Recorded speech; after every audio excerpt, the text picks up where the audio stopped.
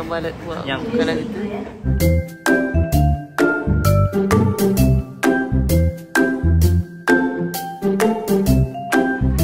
di gigi eh, buat apa yogurt guna finger paint ni.